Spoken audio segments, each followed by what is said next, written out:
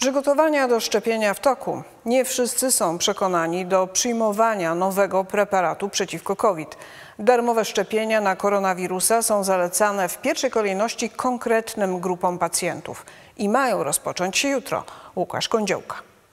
Zdania pacjentów są jak zwykle podzielone. To dziękuję. Ja odchorowałam, proszę pana, tydzień po pierwszym szczepieniu. Szczepionkę łatwo przyjęłam, także nie, bardzo się cieszę, że jest ta szczepionka. Niezależnie od tego, czy ktoś jest przekonany do szczepień przeciwko koronawirusowi, czy też ma obawy, jutro będzie można przyjąć nowy preparat. Szczepienia będą wykonywane w aptekach i przychodniach. Nowy preparat Spikevax JN1 to jednodawkowa szczepionka, która będzie w pierwszej kolejności podawana osobom w wieku 12 lat i starszym. będą takie fiolki dziesięciodawkowe, czyli musimy zapisać na jeden termin minimum 10 osób, prawda, żeby tą fiolkę otworzyć, 10 dawek e, zaszczepić i nic nie wyrzucić.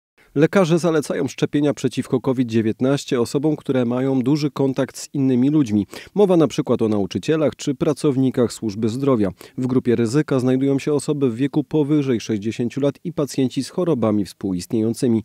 Szczepienia przeciwko COVID-19 będą przeprowadzane na podstawie e-skierowania, a zapisy będą prowadzone przez internetowe konto pacjenta lub bezpośrednio w punkcie szczepień. Jeszcze dzisiaj nie jest możliwe zapisanie się na szczepienie, ale w piątek rano opublikowana ma zostać pełna lista punktów.